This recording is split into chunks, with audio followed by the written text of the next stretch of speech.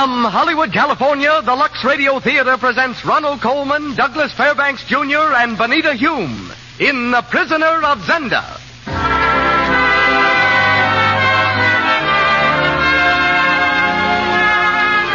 Lux presents Hollywood. The Lux Radio Theater comes to you with the good wishes of the makers of Lux Flakes. It is your loyalty to Lux Flakes that makes it possible for us to bring you these programs week after week. And every time you buy Lux, I wish you'd remember this. Just a few flakes of gentle Lux make so many suds. Lux is the thrifty care for everything safe in water alone. The thrifty way to do dishes. So it's a smart idea to keep Lux in the three places you use it most. In the bathroom, for stockings, underthings, and the pretty accessories that make you look so dainty. In the kitchen, for your dishes. And the laundry, for your dresses and sweaters. Tonight, Ronald Colman, Douglas Fairbanks Jr., Benita Hume, C. Aubrey Smith, Ralph Forbes, and Peter Wills come to us in The Prisoner of Zenda, the great romance, the magnificent adventure of a commoner who played king. Our special guest is Colonel Ivar Enhorning, former diplomat and military attaché, who is technical advisor on the recent screen version of our play. Louis Silvers conducts our music. And now, here's the producer of the Lux Radio Theater. Ladies and gentlemen, Mr. Cecil B. DeMille.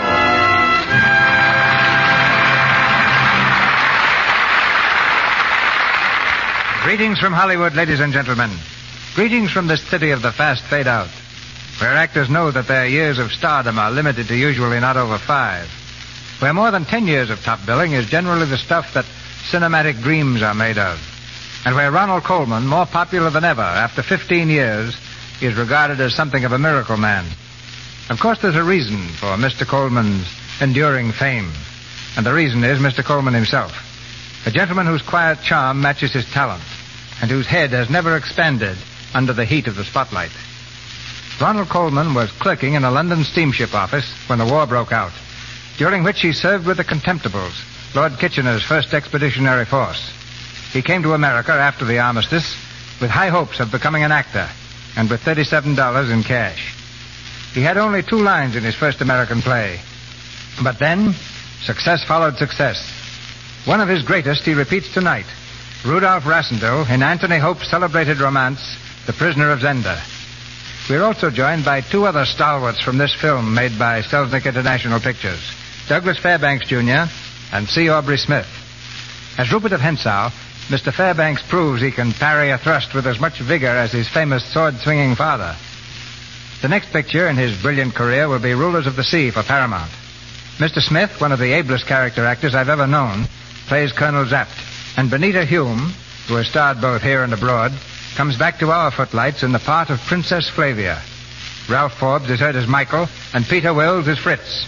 Our curtain's rising now, and the Lux Radio Theater brings you The Prisoner of Zenda, starring Ronald Colman, Douglas Fairbanks Jr., and Benita Hume.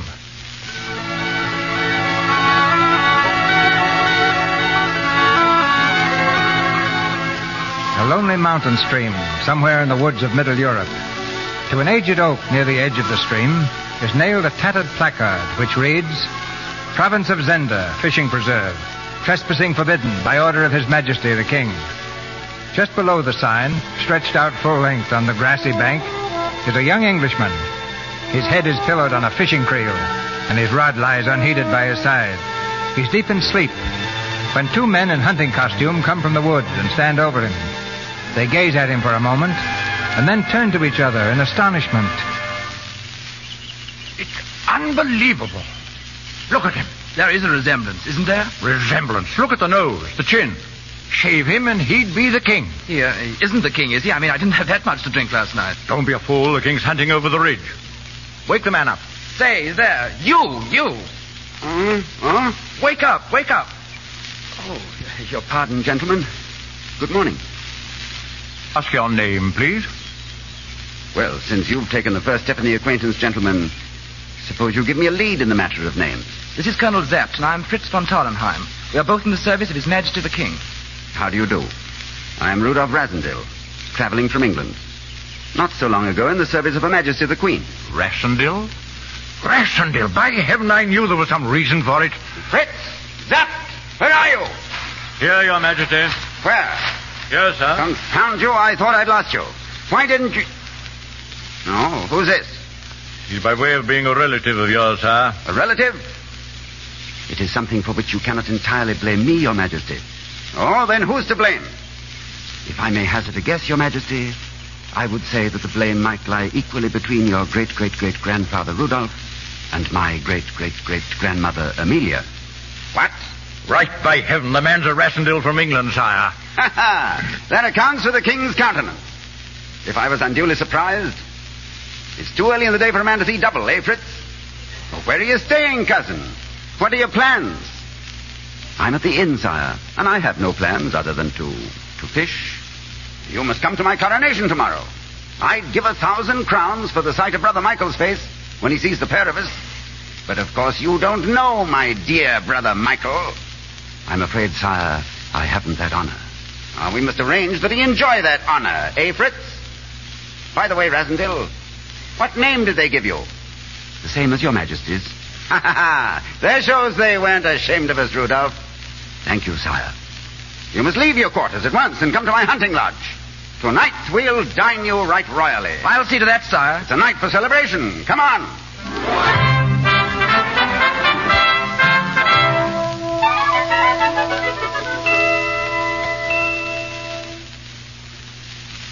Wine, Joseph. More wine. Yes, Your Majesty, at once. And now, Cousin Rudolph, I propose another toast. Here, here. A toast. To our ancestor, that scandalous rogue, Rudolph II. Here, here. Ah, Let's see. Who'll be next? Your brother Michael, perhaps? Michael, why waste good wine? I'll tell you a secret about my brother Michael. He doesn't love me. No? No. Michael thinks the world's all wrong. He thinks he ought to be me and I ought to be he. Ah, let's forget about Michael. Let's think a toast to to cousin Flavia, soon to be my bride and queen. Here, here. It's a shame you can't meet the princess. At least I'm told it's a shame. I haven't seen her for years. She and I didn't get on very well then. Well, perhaps we shall now. I should certainly hope so, sire, if you're going to marry her. Uh, they say she's too good for me. And probably is. You know what they say about me, don't you? I drink too much. well, I imagine that you're well able to take care of yourself on that score, Your Majesty. You're right, cousin. I can take care of myself. The devil take it, why is there no more wine? Joseph! Joseph!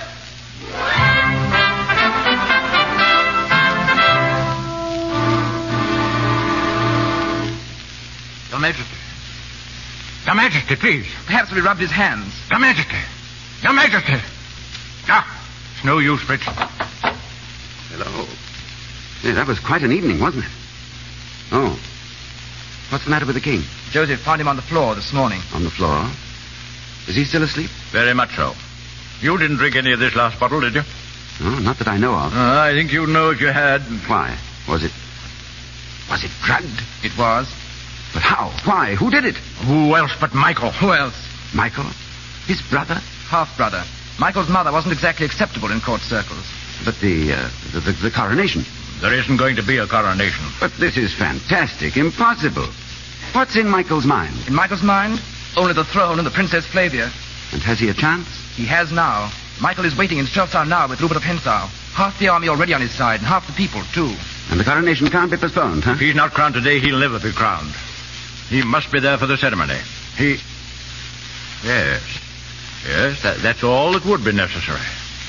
The ceremony. Well, what's the matter? What are you staring at? Englishman, I'm much older than you. As a man grows old, he begins to believe in fate. Fate sent you here. Fate sends you now to Strelsau to be crowned king.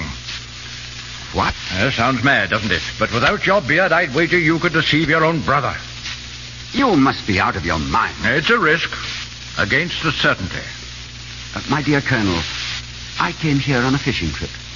I like to fish. I am a simple Englishman. I couldn't begin to act like a king even if I tried. Oh, no.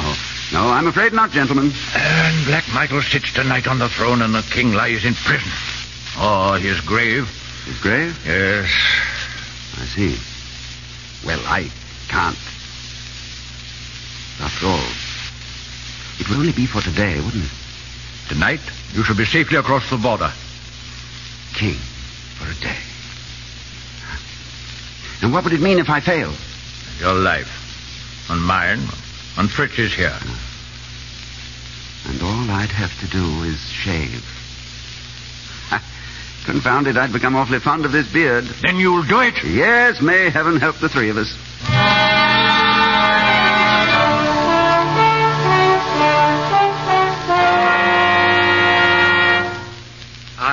Frederick Arthur Michael, Duke of Strelsau, hereby assume the regency of the kingdom and order and proclaim a state of martial law. Very good, Detchard. And now you sign, Your Highness. Ah. A last detail. Remember, this proclamation is to be released 20 minutes after Hentzau brings you word that the coronation ceremonies have been cancelled. Yes, Highness. We understand, Your By Highness. that time, our agents should have the civilian disorders well underway. And now, Highness, may I offer congratulations? And mine, A shade premature, perhaps, but, uh, thank you, gentlemen. Oh, Michael. Oh, uh, oh, come in, my dear. Good morning, gentlemen. Good morning. And now, gentlemen, you may go to your respective posts. The hour grows near. We go to serve our country and our future sovereign. Michael, what did he mean, our future sovereign? Is there more to this mad plan of yours? Well, as regent, the sovereign power will be mine. That's all he meant, Antoinette. Oh, Michael, Michael, my darling. I know this has been your dream. I've tried to believe in it. Above all else, I want you to have everything. Everything that is but power. Is that what you're trying to say? But what will it bring but the end of all our happiness? We shall be together, Antoinette. But where we belong, not outcasts. We could have each other. Isn't that enough? Darling, you must understand. Love is not enough. For any man. Oh, Michael, have I failed you then so badly? I gave up my friends, my family. I know, I know, and I love you for it. I have no regrets. You've given me happiness such as few women know. I'd rather die than lose you. Good morning. I'm sorry to interrupt, uh, Your Majesty. There may come a time, Hentzau, when your services will no longer excuse your impertinence. I was only training my tongue for the time when to call you Highness would be impertinent. Your Highness. Your witticisms do not amuse us, Hentzau. Why aren't you in your place at the cathedral? Was there such a need, Your Highness, to hurry to the coronation of a king who won't be there to be crowned?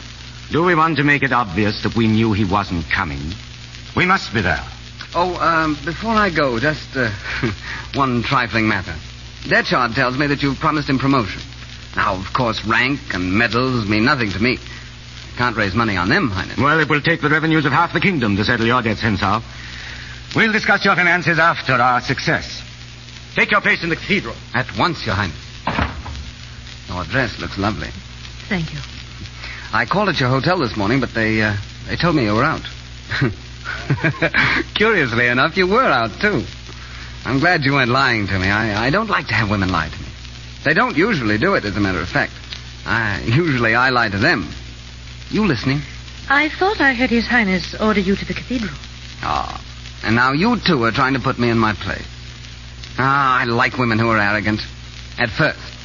It's always amusing to find that their arrogance is only a defense. But you don't need a defense with me. I'm on your side. I, I think Michael's treating you wretchedly. And what's he getting at in this marriage of state? An insipid, flaxen-haired doll. Are you referring by any chance to the Princess Flavia? Who else? what possible reason could there be for such a marriage? How else can he get the crown? But he. He doesn't want the crown. He wants only to be regent. Oh, no. really, mademoiselle. I should have thought you knew your Michael better. You're mad. I. I don't believe it. Oh, it's shameful of him to keep you in the dark like this. You want to hold him? Make him jealous. Ah, but you, you'll have to fall back on me for that. I'm the only man in the country who isn't afraid of Michael. Get out. Huh? Get out, please. Oh, of course. Your Highness. It's impossible. Your Highness. Recall the proclamation. Go at once to the cathedral. Cancel all plans for the public demonstration in my favor. Go on, hurry. Yes, Your Highness. Anything wrong, Your Highness? Wrong. Oh, no, no, of course not, Hentzau. Nothing, nothing at all, except that the king, the king has just arrived in Strelsau for the coronation.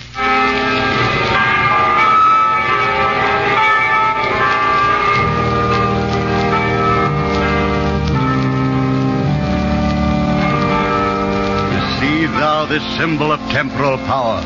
This scepter, wielded these many generations by all our chosen sovereigns, sired of the ancient house of Elfberg. Zapt. What do I do? Take the scepter. Now, kneel down. Right. Receive thou now the crown of the kingdom, and understand what a glory of sanctity and honor and bravery it signifies. I, Rudolph, with justice and mercy to deal sovereignty, to guard with vigilance and honor the welfare of my peoples, from all enemies to defend them, and from the throne of my ancestors to bear faithful rule. All this do I swear.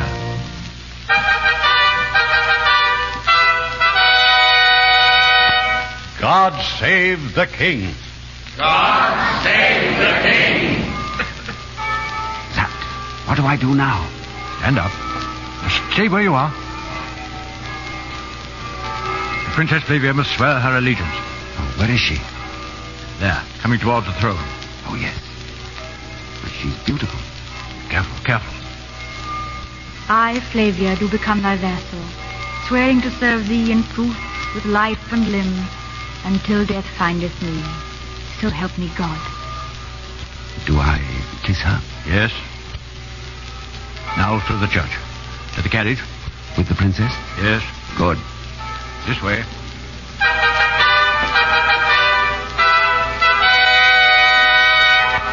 God save the king.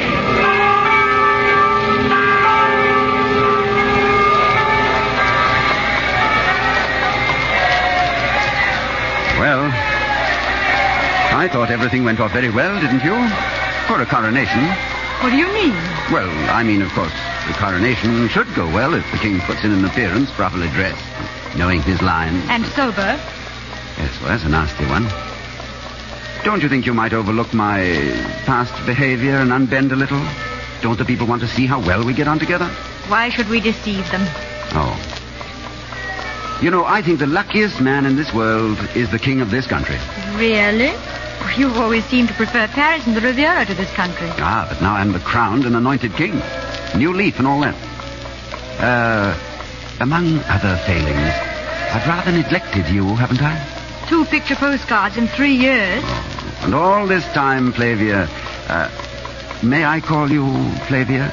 Well, what a silly Yes, that, that was pretty silly, wasn't it? But you see, I, I've been away for so long, and all this time you were changing into the loveliest girl in Europe. I must have changed since you saw me. I've been thinking the same thing about you. You really looked and acted like a king today. Oh, thank you. Something I confess few of us expected of you. Oh. Well, you see, when I looked at you, it seemed time for the king to settle down and try and live up to his future queen. I think all this ceremony has gone to your head a little, cousin. You're right, it has. I don't know whether I'm on my head or my heels. I only know this is the most wonderful day of my life. And this ride with you. Well, aren't you overlooking something, cousin? What?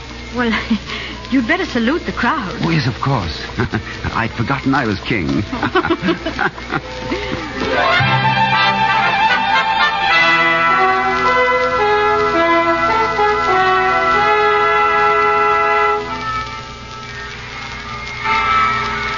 Listen, they're still cheering. They're with you heart and soul. Oh, it's you they're cheering. I felt like doing it myself when I saw you. Why, We'd better go, you know. Your guests are waiting. Oh, not just yet, please. I want to have you to myself for a moment. All day I've been on parade, cheered at, waved at, stared at. Not a chance to say. Say what? Well, it is enough to make any man lose his head a bit. I am crowned king. I meet the loveliest, the most beautiful. Oh, that isn't what you used to say. You used to call me that tow-headed little scarecrow. Terrible. I hope you slapped me. Yes, I did. And once I kicked you quite hard. Good. I deserved it. But I've reformed. Almost beyond recognition. You seem an entirely different person. I can't understand. No, no, don't try. Just stand there and let me look at you. Flavia, I. Who's there? Oh, you. Well, Fritz? His Highness Duke Michael is waiting to pay his respects, sire. Well, let him wait. What? Furthermore, Fritz, your intrusion is decidedly uncalled for. Oh, but sire, Yeah, that, that's enough, that's enough. Now, you may go. I may go. Yes. Yes, sire. Oh, Rudolph, is it wise of you to make Michael angry? I'm the one who was interrupted. Why should he be angry? Besides, I'm the king. He's probably furious. Bad tempered fellow. Why worry about him? Oh, it's you I'm worried about. In that case, I can afford to be generous. I'll see him tomorrow. Rudolph, if you won't think of yourself, think of me. All my life, I've known what my future had to be, and I was resigned to it. Well, now, I needn't tell you how, how different it is. Different? I used to dread this day and the future. But now. Flavia, I've been unfair. I didn't mean. I only want you to realize how much your life means to. Uh, to your country. Only my country? Well, and to your friends. Friends? And to your cousin and loving servant, myself. Flavia. Good night. Don't go. But I'll see you tomorrow. Good night, Rudolph. Tomorrow.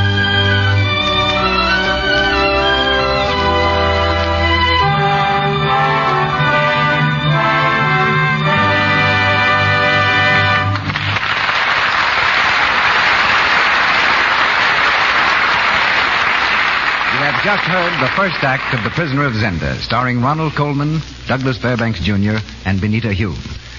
During our brief intermission, we bring you another episode in the life of the Browning family. As the scene opens, we find Midge getting ready to go calling with her mother. She's frantically rummaging through her bureau drawers for something. Listen. Let's see. Here's one. No, that's too yellow. This one's too brown. That one's too pink. Oh, dear, what am I going to do? Why, Midge, aren't you ready yet? Oh, Mother, I've just popped a run in my stocking and I can't find another whole one anywhere. Well, can't you match up any of those extra stockings you got? No, they're all different colors. Well, I guess you'll have to mend that run in the stocking you have on. Oh, Mother, I can't. It'll show. I'm sorry, dear, but it's the only thing you can do now. Oh, gosh, these nasty old runs. I get so sick of them. Well, maybe this will teach you to lux your stockings. You know you just can't rub your stockings with cake soap and expect them to last the way they ought to. I know. I should have used Lux Flake. If you would only remember to, dear. Lux will cut down on your runs and save you a lot of embarrassing moments. Stocking runs are embarrassing, not to mention expensive. And really, it's easy to cut down on them if you'll stick to Lux Flakes. Lux saves elasticity, so your stockings can give under strain instead of breaking into runs so often. Don't rub stockings with cake soap, and don't use soaps with harmful alkali. These weaken elasticity and encourage runs. Stick to gentle Lux Flakes and Lux your stockings every night. You'll find they wear longer and fit better that way. Mr. DeMille. Act two of The Prisoner of Zenda, starring Ronald Colman as Rudolph, Douglas Fairbanks Jr. as Rupert, and Benita Hume as Flavia, with C. Aubrey Smith playing Zapt, Ralph Forbes as Michael, and Peter Wills as Fritz.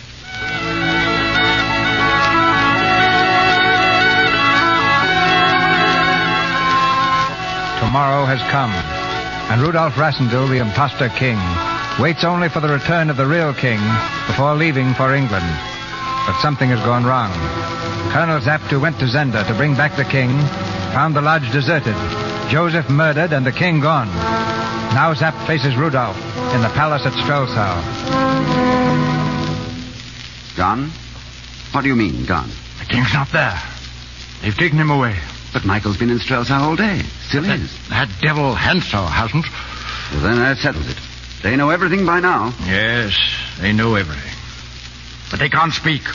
They can't announce us without announcing themselves. That still won't keep them from murdering the king. With you on the throne, they won't dare. Me on the throne. No, it's too much to ask. Nobody could carry on this masquerade. I've tried to help you all I can, but I'm not a fool. Yes, I suppose you're right. It's just that, you see, Rudolph is my king. I, I have a feeling about my king, about the crown. I feel about it the way another man would feel about his children, or the woman he loved. He'd hate to leave her to her fate without making a fight. What fate? Whose fate? Can you ask that when the king is kidnapped? Perhaps murdered? Oh, you know whom I mean. Oh, the Princess Flavia. With the king dead, Michael as regent will declare her the queen, and after that, of course, he'll marry her. She'd never do that. She couldn't. Flavia's a princess of the royal house. She'd have no choice. You can't let that happen to her. Can you? No. Then you must hold the throne, Rudolph. until we find the king.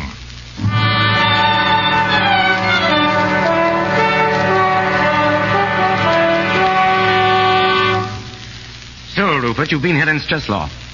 Why haven't you reported to me? Oh, now would I disobey orders, Your Highness? I went to the lodge at Zenda, and I haven't been out of Zenda Forest since. But the king ha- hasn't been out of Strelsau since.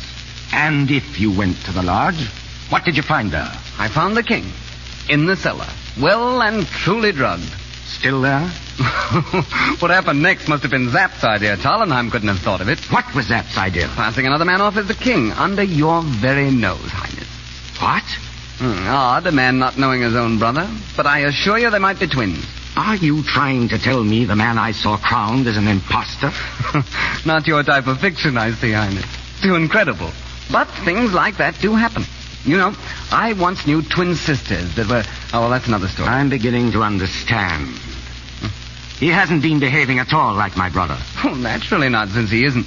But if this is true, why hasn't the king been heard from? Where is he? He's in a woodcutter's cabin. You've abducted him. well, it's an old medieval custom, abducting kings. Rupert, only you could carry out such a coup. What have you done with him? Uh, well, first, Highness, there's one thing we haven't discussed. Now, why do people abduct kings? Just for fun, Highness? Isn't there usually the little matter of the uh, the king's ransom? You can be the first man in this kingdom, after the king. oh, thanks. But how about a little something now on account? Well, ten thousand. Oh, that's a poor price for a king. And a crown. Twenty. That's final. Mm, well, it's, it's too cheap. But I do find him a bit of a nuisance, always whining about being chained up. Did you hurt him? Only slightly, but the cabin is very damp, Highness. I was afraid he might develop pneumonia. And let the Englishman reign all his life? You realize, don't you? We couldn't expose him. That hadn't occurred to me. But if the Englishman dies first and is buried in the cathedral as the king. Yes. Yes, I think that's the solution, Hentzau. Oh, ah, sire. There are moments in your presence when I feel myself an amateur.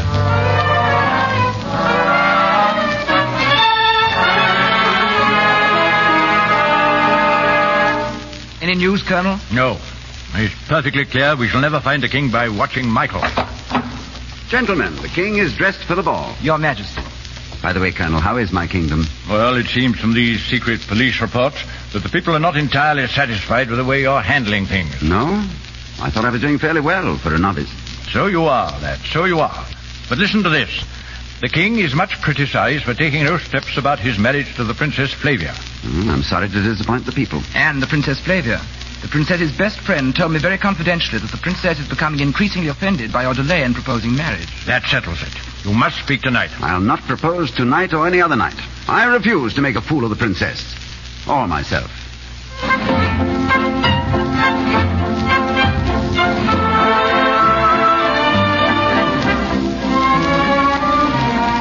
Flavia, you promised to go out on the terrace with me. Is that a command, sir? It's a command. Please. You're very cool this evening. Have I offended you? You've said nothing to offend me, sir. What you really mean is I've said nothing. Is that it? Well, I, I'm sure you have excellent reasons, sir. Flavia, please try to believe me. I may be the sort of man who who'd take advantage of any number of people, even a whole country, but I could never willingly do anything to hurt you. I don't understand. Then try to believe this without understanding. I love you. Oh, is it true? Or is it only because you must? I love you more than life, or truth, or honor. Oh, Rudolph, I've so wanted you to say that. Tell me, how is it that I love you now when I never even liked you before? Never before? You seem so different. Perhaps I am different. Yes. That's what's so wonderful. I wanted you to be different from the Rudolph I knew, the Rudolph I didn't love. And you are. And yet you aren't. But if I were different, if I were not the king, Why do you say that? could you love me if I were not the king? Rudolph, does a woman who marries without love look on a man as I look on you? Flavia, I am not. Your Majesty. A thousand pardons, sire. His Eminence the Cardinal is waiting to take his leave. Of course. Something wrong, Colonel Zapt? Nothing, Your Highness. So it is my unpleasant task to be the reminder of duty.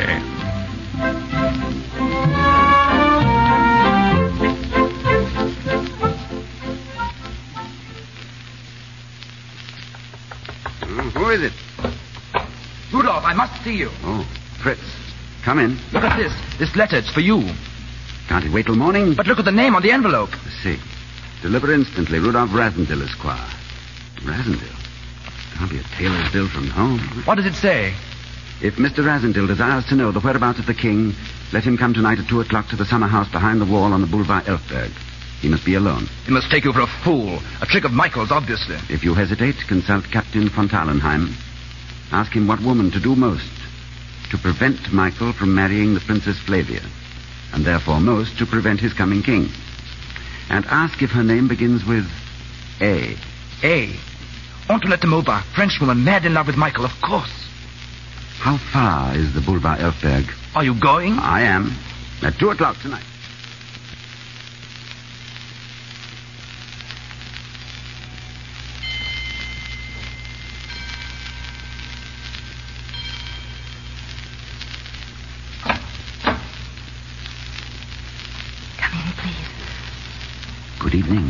Quickly.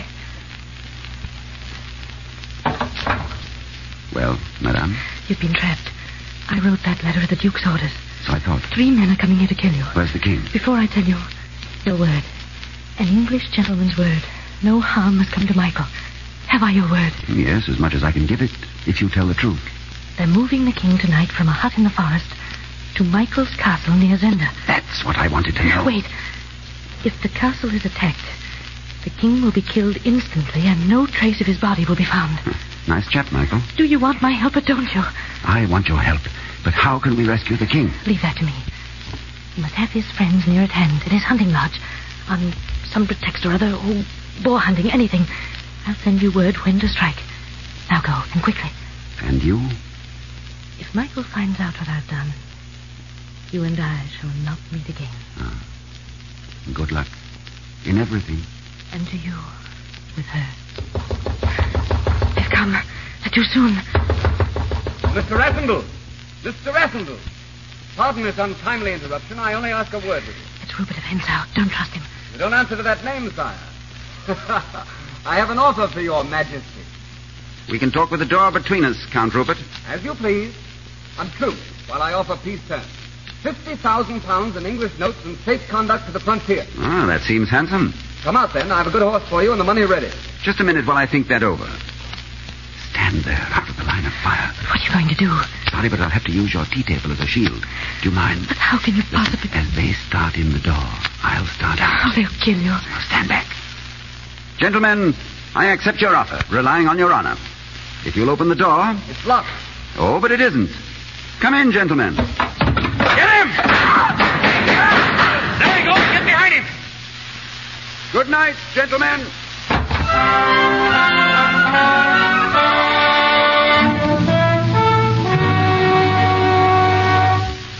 I don't understand you, Rudolph. Last night you made me feel that every hour away from me was wasted. But now you're going boar hunting. That's a different thing, I suppose. My darling, did you dream that I was leaving you to go hunting? Well, then you're not going. Well, I'm not going hunting. That is not just for boar. Well, then what are you going... Oh, Rudolph, it's Michael. Oh, it's nothing. It seems he's hatched a little plot at Zenda. Against you? Oh, darling, you mustn't go. Shall I tell them I can't go because we have an engagement to go riding? But I don't understand. And I can't explain just yet. But believe me when I say there are reasons why I must go. I'm sorry. You see, I've never been in love before. That's better. You'll write to me, I'll send you my heart every day. and you won't let Michael hurt you No, sweetheart. or keep you from me, No, sweetheart. nor anyone else. No. Sweetheart. I must go, darling. You stay here. Your back turned. Don't look at me. If I see your eyes, I might forget to be a king. You'll come back soon. Shan't a man come back to the loveliest lady in all the wide world? A thousand Michaels couldn't keep me from you. But if I shouldn't... No, no, no, don't. Don't turn. You will never, never forget me, Never.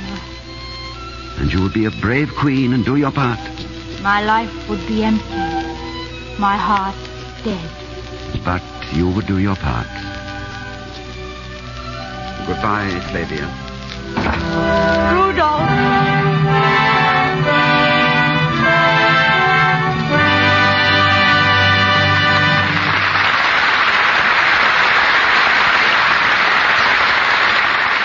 Pause for station identification.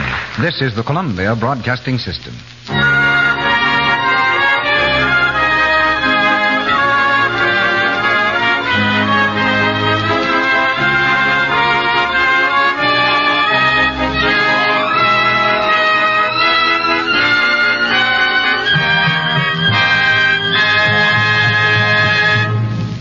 The curtain falls on Act Two of The Prisoner of Zenda, starring Ronald Colman, Douglas Fairbanks Jr., and Benita Hume. During this short intermission, we'll hear from our guest. But first, here's a thought for the ladies. When it comes to washing dishes, there are two ways to keep your hands nice looking. You can hire a maid to do your dishes, and that runs into money, doesn't it? Or you can do your dishes yourself with Lux Flakes, and that'll cost you almost nothing. It's amazing how soft and smooth your hands stay with Lux. There's no harmful alkali, absolutely nothing in gentle Lux Flakes to dry the oils in your skin and make your hands rough and red. Lux is kind to your hands and kind to your pocketbook because a little goes so far. Lux is thrifty, you know. Here's Mr. DeMille and our guest. Tonight's guest never knew the, the royalty of our play because they exist only in fiction. But he's met the real life royalty of practically every kingdom in Europe. He's Colonel Ivar Enhorning, who served in the armies of Sweden and Finland, who was military attache in Austria and Germany, and who has some 20 decorations for his military and diplomatic achievements. Because of this knowledge, Selznick International Pictures called him in to steer them right in the filming of tonight's play. And we've called him in to tell us how he did it. It was a rather unique job, Mr. DeMille. You see, everything in the picture had to appear absolutely authentic. But since the story is about a kingdom that never existed, everything had to be unauthentic. Uniforms, court ceremonies, the flags, the medals, the military proceedings, all had to be made up to avoid treading on some nation's toes. So we found ourselves in a peculiar position of trying to be right by being wrong. Uh-huh. Will you tell us what royalty actually thinks of the very formal etiquette which surrounds the throne? Kings and queens, Mr. DeMille, don't like formality in their private lives any more than do ordinary people. But in their public lives, they are forced to maintain traditions and the strictest kind of etiquette for the sake of the high office they hold. Will you illustrate your point, Colonel? Well, I believe the sternest advocate of upholding the formalities I ever knew was the late Queen Victoria of Sweden. Once as officer of the guard at the Summer Palace, I was ordered to see her immediately. I reported, wearing full dress uniform and heavy saber. I had misjudged the situation, however, for this was to be a family affair, not a formal public one. The Queen was surrounded by her grandchildren. We are going to play with the children, she commanded, whereupon one of the princes informed me that I was to be an elephant, and the Queen was to be a tiger. The grandmother Queen got down on her hands and knees, so did I. Everything went along very well until the prince said that the elephant was to eat the tiger. Instantly, his grandmother remembered that she was a queen and I was a soldier. For me to eat her was a little too much. She simply said, the play is ended. Proving that royalty, like elephants, never forgets. Well, I knew one princess who often forgot her high station to remember humanity. She was a former Swedish crown princess, Margaret of Connaught. There was a time, for instance, when she was walking down a lonely road near her private palace. A blind peasant woman who didn't know her identity stopped and asked the princess to lead her home. The home was a broken down hut. When they got there, the blind woman asked the princess to read her the Bible, and later asked if she would mind coming back to read to her again. Every day of that summer, the crown princess of Sweden visited that hut, bringing gifts and reading to one of Sweden's most miserable subjects, who never knew who her benefactress was. And that, Mr. DeMille, is real nobility. You've shown us the human side of the throne, Ronald Colman, Douglas Fairbanks Jr., and Benita Hume in The Prisoner of Zenda with C. Aubrey Smith and Ralph Forbes.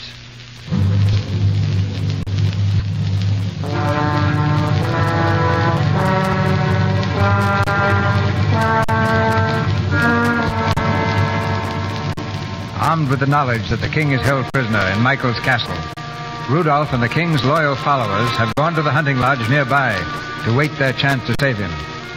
Now, in the dead of night, Rupert and Hentzau has come to the lodge with a request to see Rudolph in private. Come in, Hentzau. The audience is granted. Your Majesty, I bring you your brother's humble greetings and his wish that you enjoy good boar hunting here in Zenda.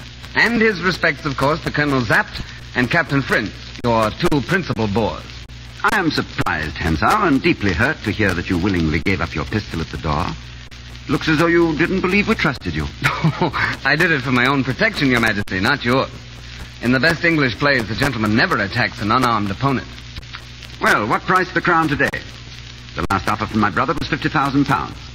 Do I perhaps hear fifty-two thousand? Well, the Duke offers you more than I would. I simply said, why not hang the play actor and uh, save the money? Indeed. And Michael? He doubles the offer. A hundred thousand pounds. yeah, I, I, I told Michael you'd refuse. But the fact is, between ourselves, Michael does not understand a gentleman. No, but we do, don't we? oh, Rassendyll, you're a man after my own heart. Frankly, you and I are the only two people worthwhile saving in this whole affair, now aren't we? now, here is my plan for us.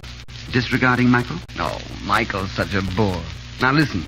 Attack the castle boldly. Uh-huh. Go on. Arrange the time with me. I have such confidence in you, of course. Black Michael will fall. The king, well, um, you don't want to find him. You won't. That's provided for. And your friends, well, if, uh, if they fall too, then only you and I are left to know the truth. Understand? I, Rupert Hentzau, and you, king of the realm. I see. But aren't you being a little unfair to Michael? Oh, perhaps a little, but uh, I can't put up with his jealousy. Jealousy? Mm-hmm. You've seen it. Oh, yes, yes, Antoinette. So the Duke gets in your way. Hmm? Well, that's hardly a fair way of putting it, perhaps. Uh, I get in his way. Surely he doesn't prefer the Duke. Yes, the silly creature. then you're doing all this for love. How romantic. Well, love and, um, and your Majesty's gratitude throughout your long and happy reign. And then, of course, you, you might make over to me Michael's castle and estates. Shall we shake hands on it? Zapt, Fritz, come in and listen to this. I would also promise, play actor, to leave your golden-haired goddess alone until I wanted her. Why, you... Now, don't get excited, please. You see, I left only my gun outside. I still have this. Touch me with that dagger and you'll be full of holes before you reach the road. It's almost worth the chance. But I imagine we'll meet again, play actor. Perhaps under conditions more favorable to me. Yes, I'm sure that's the only way we'll ever meet. Of course. Good night. Good night.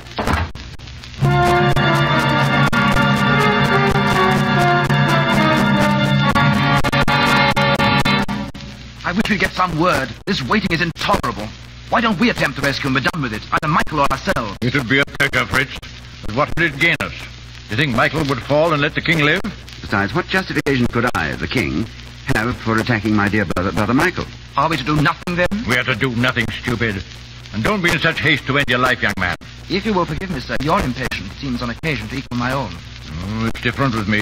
I've spent my life, and it's been a long one, in the service of the throne. I can do no more than die in its service. Now, or a few years later, what difference will it make? It makes a great difference, Colonel. You've never seen England in the spring. There's a little stream I'd like to show you, too, where the trout... Aye, lad. It'll be a pity if we never get the chance to go there. God grant that you at least may see your own country again. I'm not sure it could ever be the same again. I know, lad. I know. Men, The man is here who insists he has a personal message for His Majesty. have you searched him thoroughly? Certainly, sir. Send him in. In here. I'm Colonel Zapt. What is it you want? I have a message for His Majesty from Madame Antoinette de Mauban. Mauban? Well, what is it? I am to lower the drawbridge at two hours past midnight. But the king will be killed at the first alarm. Yes, Majesty. She says before the bridge goes down, one of your men must swim the moat and go to the first room on the left of the corridor. The king is imprisoned there. Yes? That man alone must hold off the guards from murder until the others cross the bridge and get below. Ah. Tell Madame We shall be on the shore at two, waiting for her signal. Then I will swim the moat. The others will wait until you lower the bridge. Now go. I think I should swim the moat, Rudolph. Right, lad. Can't afford losing both our kings. One king you'll lose tonight. If anything should happen to the king and not to me, your game is up anyway. Oh, no, I swim the moat, Fritz, not you. But if we lose you both, what will become of those of us who are left? They will serve Queen Flavia. And I would to God I could be one of them.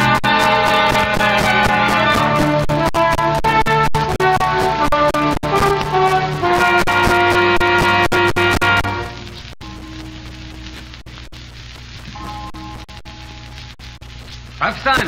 Here, Hentzau. This castle's gloomy as a vault. Where are you? Here. The relief guard was ten minutes early tonight, Hentzau. Why? the Duke's as nervous as a kitten. Must be expecting old Zapt to bob up out of the moat in a diving helmet. well, getting late. I'll have a last look at the doors and the drawbridge before I turn in. Good night. Good night, Hentzau.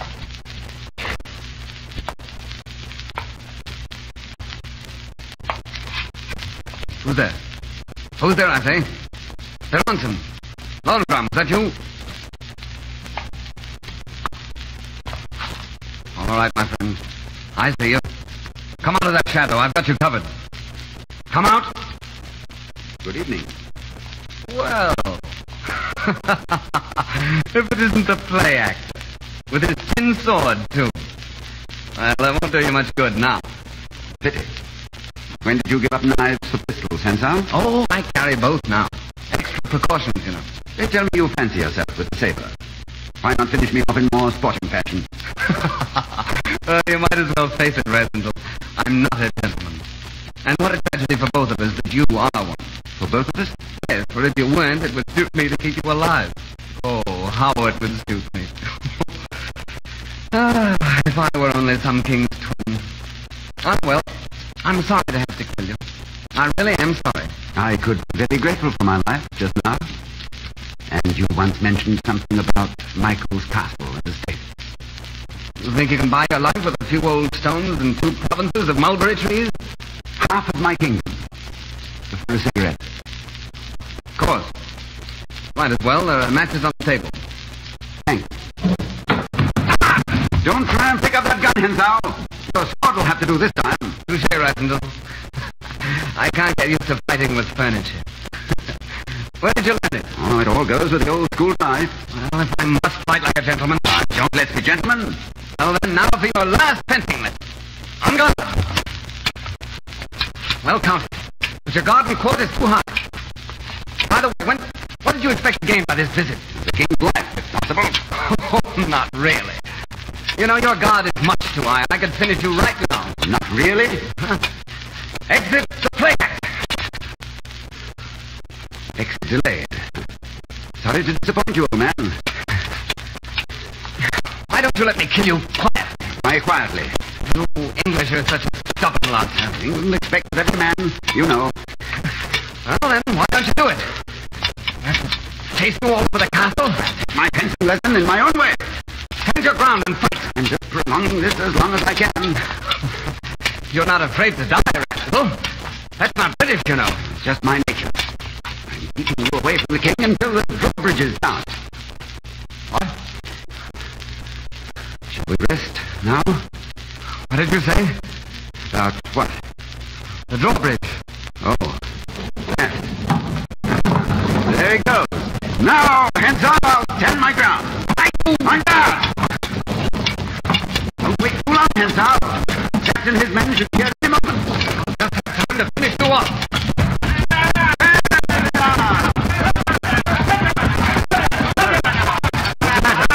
Are we resting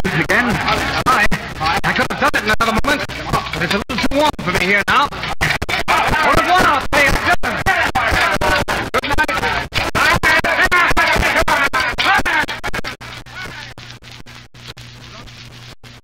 All right. The wounded. Oh, it's nothing. The king? He's safe. We've got him. And Black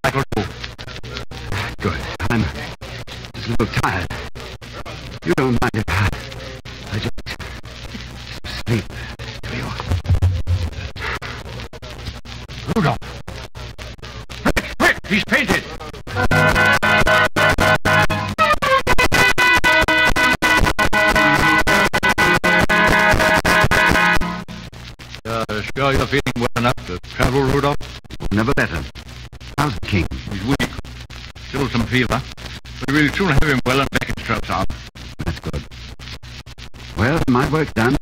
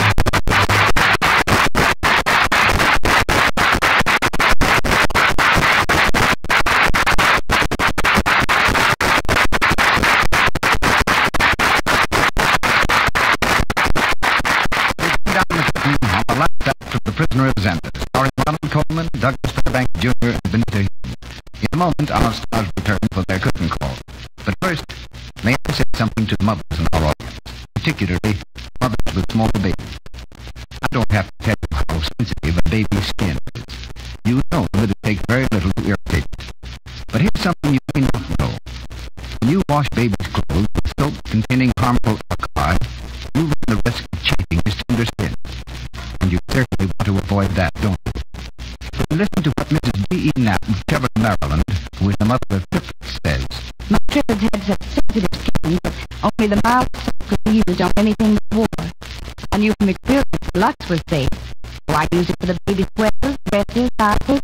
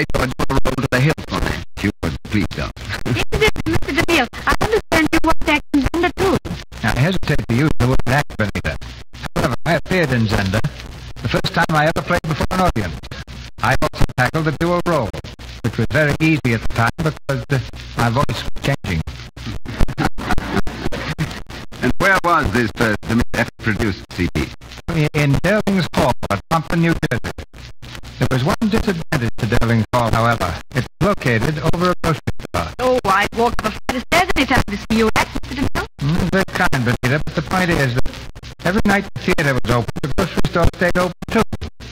Doing a land office business in very ripe tomatoes. Proving just one of the advantages of acting on the air. Is it true, C.D., that when Zenda first hit Broadway, it exerted tremendous influence in the field of matrimony? I know of no play before or since, Bonnie, that has inspired so many gentlemen to pop questions and so many ladies to answer yes. That's true, Ronnie. Think of the havoc you may have wrought tonight. And that's as good as good a hint as any to say good night. I thank Mr. DeMille for a most enjoyable evening.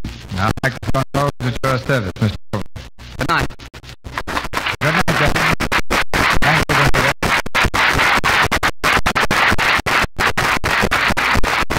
Our stars fact, next Monday night are announced presently by Mr. DeMille.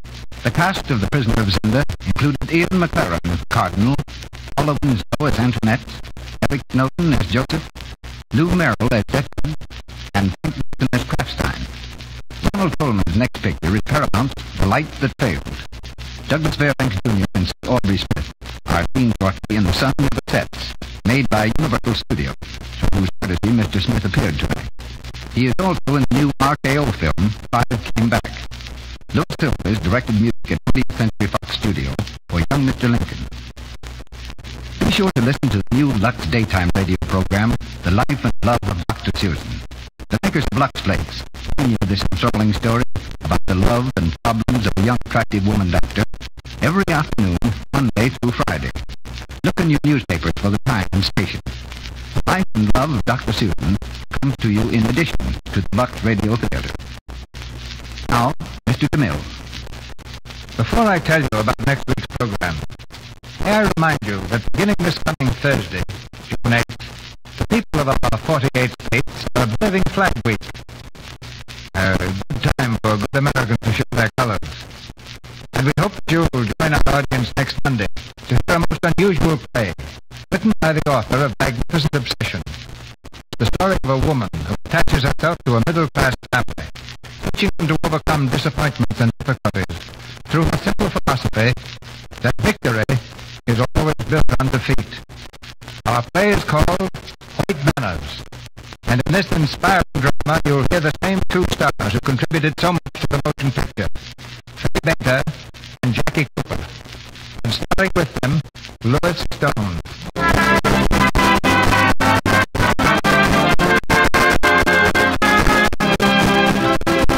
Our sponsors, the makers of Lux Flakes, join me in inviting you to be with us again next Monday night when Lux Radio Theater presents Fay Bainter, Lewis Stone, and Jackie Cooper in White Banner. This is Cecil B. DeMille